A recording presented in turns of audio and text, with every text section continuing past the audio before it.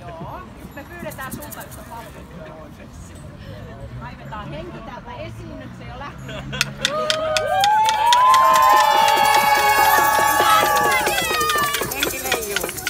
Aivan. No niin. Täällä on tämmönen söpö tyttö, jolla on pienet siivet selässänsä. Maailma on meille avoin ja me pyydetään sulta, että sä voisit tämän viedä vaikka sinne oppilaskunnan kioskiin sinne jonnekin pöydälle odottamaan, että me tullaan. Me annetaan se nyt sun vastuulle. Hyvä?